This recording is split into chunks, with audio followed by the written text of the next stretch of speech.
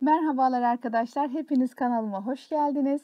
Bir önceki videomuzda Batı cephesine giriş yapmıştık. Birinci ve ikinci İnönü savaşlarıyla ilgili bilgiler vermiştik.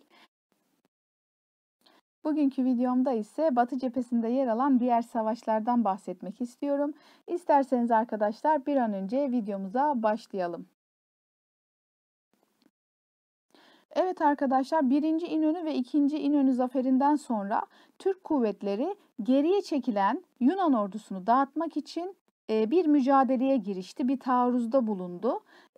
Ancak giriştikleri bu mücadele Türk ordusunun başarısızlığıyla sonuçlandı. Arkadaşlar bu durum Türk ordusunun henüz taarruz gücüne ulaşamadığını göstermiştir ve Yunanlılar Türklerin henüz saldırı gücüne ulaşamadıklarını anlayınca yeni bir taarruz hareketi içine girdiler ve hazırlıklara başladılar. Ee, yani burada şunu anlıyoruz arkadaşlar.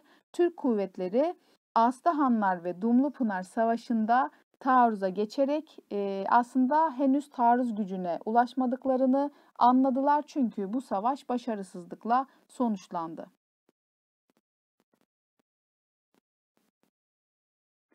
10 Temmuz 1921'de Büyük Yunan saldırısı başladı. Bu savaş Türk kuvvetlerinin başarısızlığıyla sonuçlandı. Türk ordusu geri çekilmek zorunda kaldı ve Mustafa Kemal bu durum karşısında Türk kuvvetlerinin Sakarya Nehri'nin doğusuna çekilmesi emrini verdi. Evet arkadaşlar, Aslıhanlar Dumlupınar Savaşı'ndan sonra Yunanlılar e, Türk kuvvetlerinin henüz taarruz gücüne ulaşmadığını anlayıp tekrar saldırıya geçtiler e, ve bu saldırı sonucunda Kütahya Eskişehir Savaşı da yine Türk ordusu tarafından başarısızlıkla sonuçlandı diyoruz ve Mustafa Kemal de Türk kuvvetlerinin Sakarya Nehri'nin doğusuna çekilmesi emrini verdi diyeceğiz. Peki Kütahya Eskişehir Savaşı'nın sonuçlarında neler olmuş hemen bakalım. Yunanlılar Kütahya, Afyon ve Eskişehir'i aldılar. Düzenli ordunun ilk ve son yenilgisidir bu arkadaşlar. Düzenli ordunun yaptığı savaşlar içinde ilk defa ve son defa Kütahya Eskişehir Savaşı'nda yenilgiyle sonuçlanmıştır. Mecliste bu durum sert tartışmalar yaşatmıştır. Mustafa Kemal'e Türkiye Büyük Millet Meclisi tarafından başkomutanlık yetkisi verilmiştir. Evet arkadaşlar, altını çizelim lütfen. Başkomutanlık yetkisi nerede veriliyor? Mustafa Kemal'e Kütahya Eskişehir Savaşı e, sonucunda veriliyor diyoruz. Yine aynı zamanda Mustafa Kemal tekalifi milliye emirlerini yayımlıyor bu savaşın sonucunda. Ve e, tabii ki Türk kuvvetlerinin e, yenilgisiyle sonuçlandığını görünce İtalya ve Fransa'da o hani geri çekilmeye başlamışlardı ya geri çekilmeyi durduruyorlar. İtalya ve Fransa Anadolu'dan çekilmeyi durduruyorlar Kütahya ve eski şehir savaş sonucunda. 7-8 Ağustos 1921 yılında yayımlanan Tekalifi Milliye emirlerinin içeriğine bakıyoruz hemen. Arkadaşlar bu emirlere göre her aile birer kat çamaşır, birer çift çorap ve çarık verecektir. Oluşturulacak komisyonlar halkın ve tüccarın elinde bulunan askerin ihtiyaçlarına yarayacak malların yüzde kırkına bedeli sonradan ödenmek üzere el koyacaktır. Herkes hububat, hayvan ve yem stoklarının yine daha sonra ödenmek koşuluyla yüzde kırkını verecektir. Halk elindeki silah ve cephaneyi 3 gün içinde komisyonlara verecektir. Demirci, marangoz, dökümcü, saraç ve araba yapan esnaf ordu emrine alınacak ve askeri malzeme üretiminde çalışacaktır. Taşıt sahipleri ayda bir defa olmak üzere 100 kilometrelik mesafeye ücretsiz askeri malzeme taşıyacaktır ve ülkenin bütün sahipsiz mallarına el konacaktır. 23 Ağustos 13 Eylül 1921'de gerçekleşen Sakarya Meydan Savaşı'nda ise Mustafa Kemal Atatürk hattı müdafaa yoktur, satı müdafaa vardır. O satı bütün vatandır. Vatanın her karış toprağı vatandaşın kanıyla ıslanmadıkça terk olunamaz sözüyle savaşmayı emretmiştir. Arkadaşlar bunu kırmızı yazdım, kırmızı şekilde yazdım. Çünkü bazen Atatürk'ün söylemiş olduğu bu sözler de hangi savaş öncesinde ya da nerede, ne zaman söylenmiştir şeklinde soru gelebiliyor. Bunu unutmayalım. Sakarya Meydan Savaşı'na savaşmayı emrederken Mustafa Kemal bu sözleri, bu cümleleri kullanmıştır. Ve Mustafa Kemal zafer ile sonuçlanan bu savaşı Subaylar Savaşı olarak da tanımlamıştır. Bu da soru olarak gelebilir. Subaylar Savaşı da denilen diye başlayıp e, burada da Subaylar Savaşı'nın Sakarya Meydan Savaşı olduğunu bilelim arkadaşlar. Sakarya Savaşı'nın sonuçları Avrupalı devletler karşısında 2. Viyana kuşatmasından beri süre gelen geri çekilme Sakarya zaferiyle sona ermiştir. Sakarya Savaşı Türk ordusu adına Kurtuluş Savaşı'ndaki son savunma savaşı olmuştur. Türk ordusu bu savaştan sonra taarruza geçmiştir. Çok güzel bir soru çıkabilir buradan. Soru gelebilir. Ee, Türk ordusunun Kurtuluş Savaşı'ndaki son savunma savaşı hangisidir? Sakarya Savaşı. Çünkü bu savaştan sonra artık Türk ordusu taarruza geçmiştir diyeceğiz. Azerbaycan, Gürcistan ve Ermenistan devletleriyle 13 Ekim 1921'de Kars Antlaşması imzalanmış. Böylece Kafkas sınırımız kesinlik kazanmıştır. İtilaf devletleri arasındaki görüş ayrılıkları artmıştır. Bunun sonucu olarak Fransa ile 20 Ekim 1921'de Ankara Antlaşması imzalanmıştır. 22 Ekim 1921'de İngiltere ile esir değişimi antlaşması imzalanmış, uluslararası eşitlik ilkesine uygun bir şekilde imzalanan bu anlaşmayla daha önce Malta'ya sürgün edilmiş olan Türk esirleri ana vatana dönmeleri sağlanmıştır. 2 Ocak 1922'de de Ukrayna ile dostluk anlaşması imzalanmıştır. Mustafa Kemal Paşa'ya TBMM tarafından gazilik ünvanı ile mareşallik rütbesi verilmiştir. Yunan ordusu İtilaf devletlerinden aldığı desteği kaybetmiştir. İtilaf devletleri Türkiye Büyük Millet Meclisi'ne barış yapma teklifinde bulunmuşlar. Fakat Türkiye Büyük Millet Meclisi misak-ı milliye uymayan bu teklifi imzalamayı kabul etmemiştir.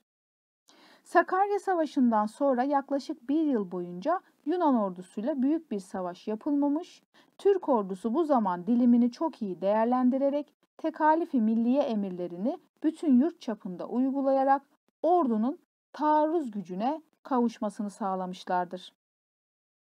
Sakarya Savaşı'nın sonuçlarından bir tanesi de Yunan ordusu Sakarya Savaşı'ndan sonra e, yeni bir saldırı yapmaktan vazgeçmiştir ele geçirmiş olduğu yerleri kaybetmemek amacıyla savunma önlemleri almaya başlamıştır. Arkadaşlar az önce bahsettiğimiz o anlaşmaları e, bir toparlayacak olursak eğer başlıklar altında Sakarya Savaşı sonrası şu gelişmeler diye söyleyebiliriz. 13 Ekim 1921'de Kars Anlaşması, 20 Ekim 1921'de Ankara Anlaşması, 2 Ocak 1922'de Ukrayna ile dostluk anlaşması ve Türkiye Büyük Millet Meclisi ile İngiltere arasında yapılan esir değişimi antlaşması şeklinde yazabiliriz. Evet arkadaşlar Sakarya zaferinden sonra Sovyet Rusya'nın aracılığıyla 3 Sovyet Cumhuriyeti olan Azerbaycan, Gürcistan ve Ermenistan'la Kazım Karabekir'in temsil ettiği Türkiye Büyük Millet Meclisi hükümeti arasında 13 Ekim 1921'de Kars Anlaşması imzalandı. Böylece Türkiye'nin doğu sınırı kesinleşti ve Ermeni sorunu da sona erdi diyoruz Kars Antlaşması'yla. Yine Sakarya Zaferi'nin ardından Türkiye Büyük Millet Meclisi ile Fransa arasında imzalanan Ankara Antlaşması gereğince taraflar arasındaki savaş durumu sona erdi ve Fransa Türkiye Büyük Millet Meclisi'ni resmen tanımış oldu. Ukrayna ile yapılan dostluk anlaşması ise e, anlaşmanın iki devletin karşılıklı olarak birbirini tanıması, Karadeniz'e kıyısı olan devletlerin katıldığı konferansta Karadeniz'in ve içine dökülen nehirlerin uluslararası statüsünün belirlenmesi, Karadeniz'in ülkelerinin onayı olmadan İstanbul ve Çanakkale boğazlarında özel bir rejimin uygulanmaması, diplomatik ilişkilerin kurulması gibi maddeler vardı diyoruz. Yapılan anlaşmalar sonucunda arkadaşlar e, bunlar çok önemli. Türkiye Büyük Millet Meclisi'ni ilk tanıyan devletin Gümrü Anlaşması ile birlikte Ermenistan olduğunu, yine Türkiye Büyük Millet Meclisi'ni tanıyan ilk batılı devletin Moskova Anlaşması ile Rusya olduğunu, yine Türkiye Büyük Millet Meclisi'ni tanıyan ilk Müslüman devletin Afgan Dostluk Anlaşması ile Afganistan olduğunu ve Türkiye Büyük Millet Meclisi'ni tanıyan ilk itilaf devletinin ise Ankara Anlaşması ile Fransa olduğunu lütfen unutmayalım. Çünkü Türkiye Büyük Millet Meclisi'ni ilk kez tanıyan devletler önemli gerçekten e, ve karıştırmaya çok müsait. E, bunları güzel bir şekilde öğrenirsek eğer e, bizim için zor olmayacağını düşünüyorum. Evet arkadaşlar geliyoruz Büyük Taarruz ve Başkomutanlık Meydan Muharebesi'ne. Ani baskın şeklinde gelişen bu taarruz karşısında şaşıran Yunanlılar geri çekilmeye başladılar. Burada yapılan meydan savaşı Başkomutan Mustafa Kemal Paşa yönettiği için ve düşmanın büyük bir kısmı Türk ordusu tarafından imha edildiği için Dumlu Pınar'da yapılan bu savaşa Başkomutanlık Meydan Muharebesi adı verilmiştir arkadaşlar. Yenilen Yunan ordusunun arta kalanları İzmir'e doğru hızla çekilmeye başlamış ve Mustafa Kemal burada da hangi sözü söylemiştir arkadaşlar? Ordular ilk hedefiniz Akdeniz'dir ileri. Bunu da e, not edelim, altını çizelim. Ordular ilk hedefiniz Akdeniz'dir ileri sözünü büyük taarruzda yani başkomutanlık meydan muharebesinde e, söylemiştir Mustafa Kemal diyoruz. E, ve bu emirle birlikte Türk askerleri 9 Eylül 1922 sabahı İzmir'e girdiler.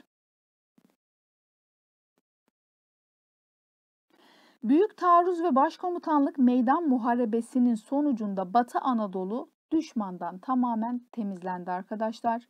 Başkomutan Mustafa Kemal'in teklifi üzerine üstün hizmetlerinden dolayı Fevzi Paşa'ya da mareşallik rütbesi verildi ve büyük taarruzla birlikte Başkomutanlık meydan muharebesiyle birlikte Kurtuluş Savaşı'nın askeri safhası bitmiş, siyasi safhası başlamış oldu. Bu da önemli. Bunu da çizelim lütfen altını bu cümlenin. Kurtuluş Savaşı'nın askeri safhasının bittiği ve siyasi safhasının başladığı savaş büyük taarruz ve bu büyük taarruzun sonucunda e, siyasi safha başlamıştır diyeceğiz. Mudanya Ateşkes Anlaşması'nın hazırlanmasında da etkili olmuştur e, diyoruz. 11 Ekim 1922 Mudanya Ateşkes Anlaşması. Arkadaşlar Kurtuluş Savaşı'nın sonunda imzalanan bir anlaşmadır. Batı Anadolu'nun Yunan işgalinden kurtarılmasından sonra sıra Trakya'nın kurtarılmasına gelmiştir ve İngiltere yalnız kalınca Türklerle barış görüşmeleri için masaya oturmaya mecbur kalmıştır. Kurtuluş Savaşı'nın sonunda imzalanan mütarekedir diyoruz Mudanya Ateşkes Anlaşması için. Mudanya Ateşkes Anlaşması'nın sonuçlarına bakacak olursak eğer, Türk-Yunan çatışması sona erdi. Yunan kuvvetleri Akdeniz'e döküldüğü yerden Trakya ile Bulgaristan sınırının e, kesiştiği noktaya kadar Meriç'in sol kıyısına çekilecek e, ve bu ateşkes anlaşmasıyla birlikte Doğu Trakya kurtarılmış oldu. İstanbul ve Boğazlar Türkiye Büyük Millet Meclisi'ne teslim edildiler. Türkiye Büyük Millet Meclisi hükümeti Doğu Trakya'da asayiş ve düzeni sağlamak için 8 bin kişilik bir jandarma kuvvetini memurlara katabileceklerdi. Barış yapılana kadar Karaağaç dahil Meriç'in sağ kıyısı müttefiklerce işgal edilecekti ve anlaşma imzalanmasından 3 gün sonra yürürlüğe girecekti. Mudanya Ateşkes Anlaşması ile birlikte Osmanlı Devleti hukuken sona ermiştir arkadaşlar. Lozan'a zemin hazırlamıştır bu anlaşma ve bu anlaşma arkadaşlar Mondros'u geçersiz kılmıştır. İngiltere'de hükümet değişikliğine neden olmuştur ve bu anlaşmayla birlikte Türkiye Büyük Millet Meclisi resmen tanınmıştır. Doğu Trakya, İstanbul ve Boğazlar savaşılmadan alınmıştır diyoruz. Evet arkadaşlar bugünkü videomuzun da sonuna geldik. Evet bugün e, anlattığım savaşlarla birlikte Batı cephesini e, bitirmiş bulunuyoruz. Büyük taarruzla birlikte artık e, Batı cephesinin Kurtuluş Savaşı'nın e, askeri safhası bitmiş ve siyasi safhası başlamış oluyor arkadaşlar. Bundan sonraki videomuzda da artık siyasi safhasıyla ilgili bilgiler vereceğim. Hala kanalıma abone olmadıysanız lütfen abone olmayı unutmayın. Yorumlarınızı ve beğenilerinizi de bekliyorum arkadaşlar. Hepiniz kendinize iyi bakın. Hoşçakalın.